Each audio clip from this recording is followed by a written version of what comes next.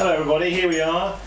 We're in the middle of a workshop and um, we've got here Bonnie and Jill from the Spokane Potters Guild, Washington State, USA. And I'm very privileged to be wearing one of their aprons. So, and then we have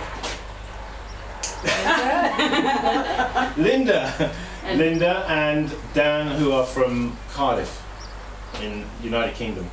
So anyway, just to was really just to show off this wonderful apron I've been given. Anyway, what we're really about is making a bowl with a pouring lip. So Pouring lip. Oh. yeah, if you've got any questions, just feel free to shoot. Don't worry that I'm filming. So, um, just there we are. Okay, let's go. This is about 800 grams of clay, and um, I'll move that out of the way. Sorry, Dan. it's your gauge, isn't it? Start again tomorrow. for your cylinder. So, centering up the clay, coning up and centering down.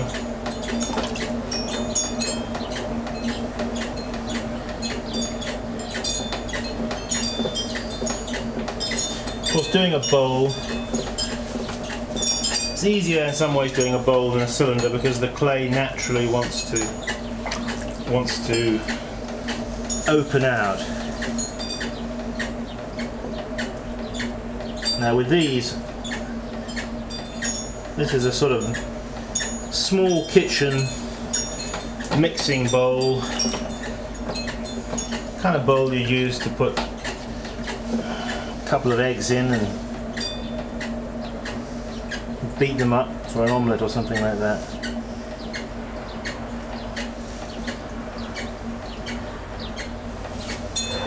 It's going to have a rolled rim, so just quickly do that.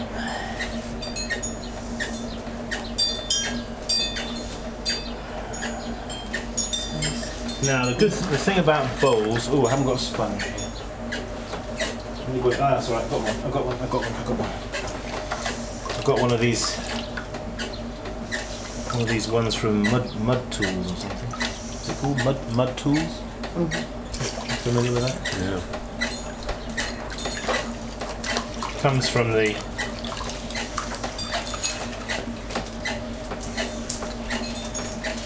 so what we want to what we want to aim at with a bowl especially some kind of mixing bowl is a nice smooth continuous curve there on the inside.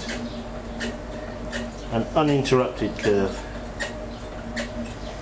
All right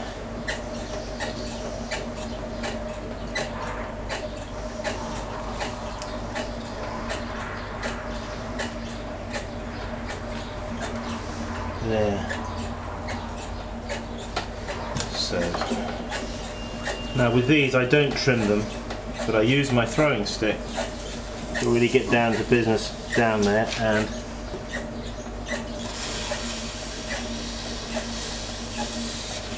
cut in with the with this throwing stick underneath there and that will only require me to will only require me I wonder what that was. I thought maybe it's the dog. Sorry, Dan. Anyway, there we are. So, taking my chamois, just going to leather the rim. Bit of a squeak on the old wheel today. What I do is with these now we're going to do a sort of pulled lip here. So let's get that in the picture. So holding it there and then just simply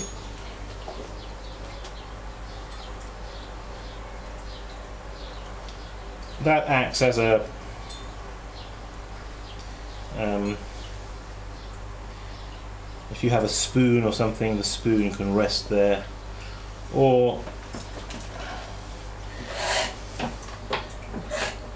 it just serves as a place to pour, pour out your your egg mixture or your sauce mixture. Um, and you want it. So that's it. There we are. Going to cut him off.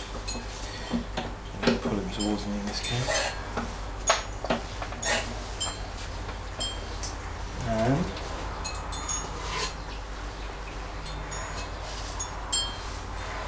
stick on a bat.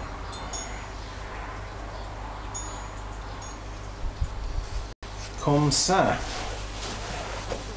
Well, there we have it, folks. The